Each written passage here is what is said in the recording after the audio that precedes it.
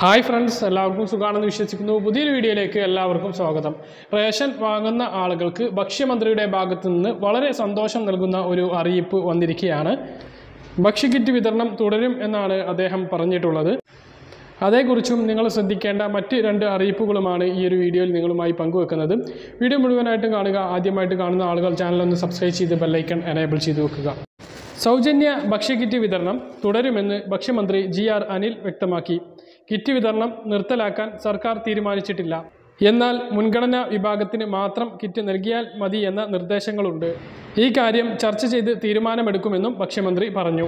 ഇപ്പോൾ കിറ്റ് വിതരണം ചെയ്യാൻ ചെറിയ ബുദ്ധിമുട്ടുണ്ട് എന്നത് യാഥാർത്ഥ്യമാണ്. സാമ്പത്തിക പ്രതിസന്ധിയുണ്ട്.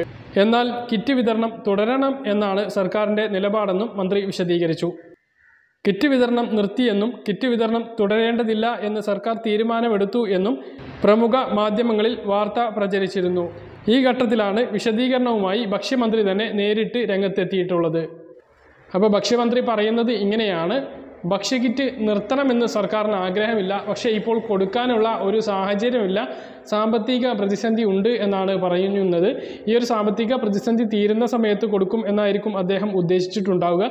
എന്തായാലും ഭക്ഷ്യക്കിറ്റ് വിതരണം തുടരും എന്നാണ് അദ്ദേഹം പറഞ്ഞിട്ടുള്ളത്. എന്ന് തുടരും എന്ന് അദ്ദേഹം ഇതുവരെ വ്യക്തമാക്കിയിട്ടില്ല. നിലവിൽ നമ്മൾ നേരത്തെ പറഞ്ഞതുപോലെ ഒരു ക്രിസ്മസിനൊരു കിറ്റ് കിട്ടാനുള്ള സാധ്യതയുണ്ട്.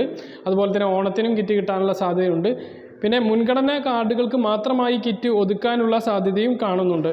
അപ്പോൾ ഭക്ഷ്യമന്ത്രിയുടെ ഈ ഒരു പ്രധാനപ്പെട്ട അറിയിപ്പാണ് ഈ ഒരു വീഡിയോയിൽ ഒന്ന് നിങ്ങളെ അറിയിക്കാനുള്ളത്. മറ്റൊരു പ്രധാനപ്പെട്ട കാര്യം നമുക്ക് പതിനഞ്ചാം തീയതി അതായത് അടുത്ത മാസം ഒക്ടോബർ പതിനഞ്ചാം തീയതിയാണ് തിരുത്തലുകൾ വരുത്താനുള്ള അവസാന തീയതി നൽകിയിട്ടുള്ളത്. അതിനു മുമ്പ് എല്ലാ ആളുകളും ആ കാര്യം കൃത്യമായിട്ട് ചെയ്യുക. മരണപ്പെട്ട ആളുകളെ ഒഴിവാക്കുക. പേര് വിലാസം ഫോൺ നമ്പർ വയസ്സ് ഉടമസ്ഥനുമായുള്ള ബന്ധം ജോലി ഈ കാര്യങ്ങളിലെങ്കിലും എന്തെങ്കിലും തിരുത്തലുകൾ വരുത്താനുണ്ടെങ്കിൽ അക്ഷയ കേന്ദ്രങ്ങളിലോ സി എസ് സി കേന്ദ്രങ്ങളിലോ ഒക്കെ പോയിട്ട് തിരുത്തൽ വരുത്താവുന്നതാണ്. സിവിൽ സപ്ലൈസ് ഡിപ്പാർട്ട്മെന്റിന്റെ civil supplies Kerala dot G O V I N എന്ന വെബ്സൈറ്റിൽ സിറ്റിസൺ ലോഗിൻ വഴി സ്വന്തമായും തിരുത്തൽ വരുത്തി